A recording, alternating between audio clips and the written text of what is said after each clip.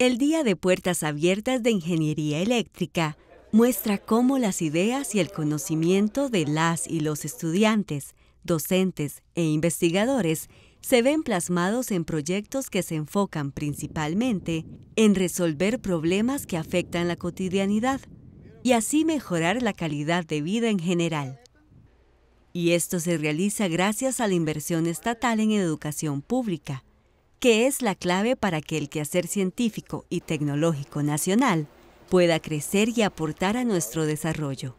Bueno, yo diría que nos está haciendo eh, saltar al siguiente nivel, ¿verdad? No solamente estudiar ingeniería, es decir, eh, solamente transmitir información, sino que nos está llevando al nivel de generar información. Estamos ya investigando, desarrollando, trabajando en problemas abiertos en ingeniería, en robótica autónoma. Estamos eh, proponiendo soluciones que están teniendo eh, en este momento un impacto a nivel internacional. Son ocho los laboratorios especializados que tiene la Escuela de Ingeniería Eléctrica y que abrieron sus puertas para recibir a niñas y niños, estudiantes de colegio, universitarios de otras carreras y todo aquel interesado en el desarrollo de proyectos dirigidos a sectores como salud, exploración, programación robótica, software y deporte.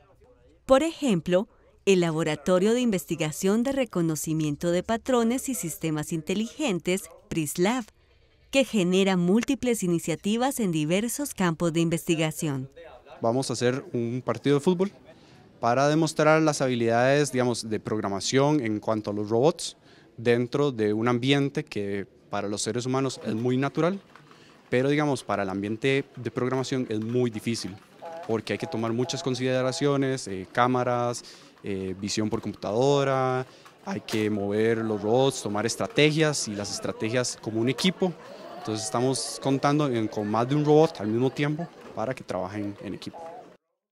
Robots Now, rovers, sistemas de captura de movimiento y brazos robóticos son apenas algunos de los dispositivos tecnológicos con que cuentan estos laboratorios y que atrayeron la atención de las y los visitantes al evento.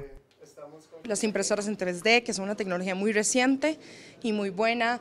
Las, bueno, las manos que son como robots, bueno, los robots, me, o sea, es algo que nos llama mucho la atención. Los láseres también son algo que la verdad es que capturó y yo creo que sí cautivó mi atención.